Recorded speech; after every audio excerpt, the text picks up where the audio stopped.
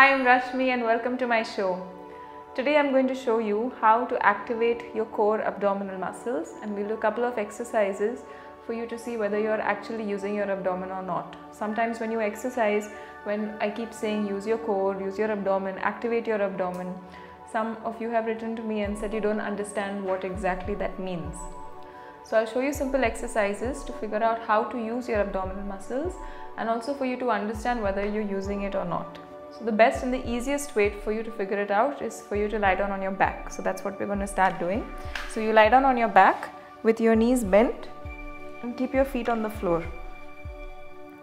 So once you lie down, first you want to ensure that you can feel your entire spine on your mat which is very easy since your knees are bent and you can feel your feet on the floor your spine will automatically be lengthened and you'll feel your lower back on the floor if you can't feel your lower back on the floor what you need to do is you need to lift your hips up tilt your pelvis upwards and slowly lengthen your spine and come back down on your mat. Yeah? So spine is on the floor. Next you start breathing through your rib cage. Usually when we breathe we inhale. The air goes into your lungs. Your lungs push your diaphragm down and that's why your abdomen expands. So now when you breathe we're just going to breathe shallow breath. So it's just normal breathing without taking your attention and breathing deeply so while you inhale and exhale you should feel your rib cage expanding and contracting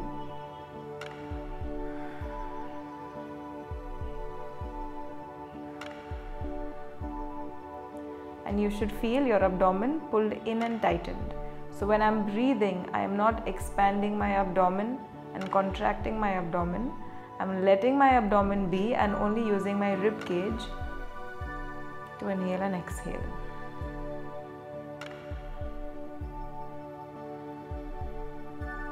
Now after this, you want to tighten your abdominal muscles and your pelvic floor muscles. Abdominal muscles suck it in and pull it in. Your pelvic floor muscles are the muscles that you use to pee. So you want to tighten them and this whole area will remain tight. So you're breathing through your rib cage, you tighten your abdomen and you tighten your pelvic floor muscles. So breathe for a few breaths.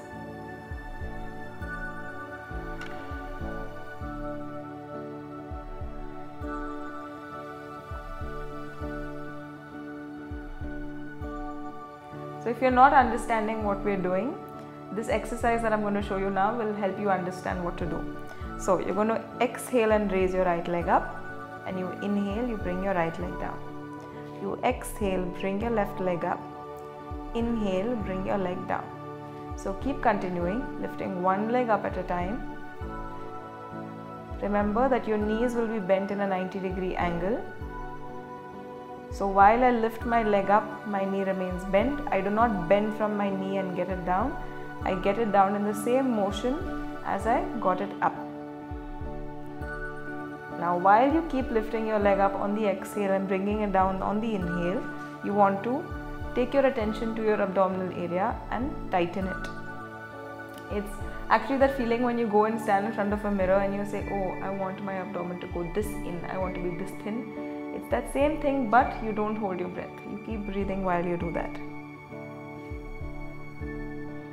So, this is a simple exercise for you to just lift your leg up as you exhale, bring it down as you inhale. You might not even realize that you're actually using your core abdomen to pick up your leg and bring it down. Moving on, we're going to try with both legs now. So, what you need to do is on the exhale, you lift your first leg up on the inhale, you lift your second leg up. But while you do this, your abdomen should not lift off and become like a mountain. So the way I like to explain it to my students is that it doesn't become a mountain, it should go in and become a valley. So you keep one hand on your abdomen, you exhale, lift your first leg up, inhale, get your second leg up, exhale, get your second leg down, inhale, you get the first leg down. So you don't want to really push your abdomen in with your hand. Your hand is just there to figure out whether you're using your core or not. Remember, we want valleys and not mountains. If you're not understanding the breathing, you just focus on the movement and the breathing will happen after you figure out the movement. Yeah, we'll try a few more times. First leg up, second leg up, second leg down, first leg down, first up, second up, second leg down, first leg down. Keep going. The breathing is exhale on the first leg, inhale second leg up, exhale second leg down, inhale first leg down. So you keep starting with the same leg that you were starting with and ensure that you're tightening your abdominal muscles as much as you can. Now if you want to just pause and look at me, I'm going to do one where I'm not holding my abdominal muscles in. So I lift my first leg up, I bring my second leg up. So you see there was a big mountain here which you don't want. So that's what you want to try and control and pull it in. One last time. First leg up, second leg up, second leg down, first leg down. Now we'll try the same thing but starting on the second leg and ending with the second leg. So you lift your second leg up then you go with the first leg, leg down and down. Keep going. Remember to keep tightening when that second leg comes up so that you're activating your core.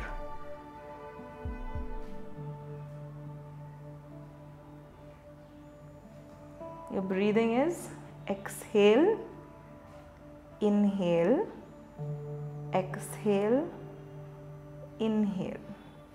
We'll do it a couple more times. Again, remember to suck it in. Keep breathing. If you notice, I'm talking while I'm doing it. What tends to happen to a lot of people is when your second leg comes up, you tend to hold your breath because you're tightening your whole body. So you need to keep breathing while you do this. Do not hold your breath. One last time.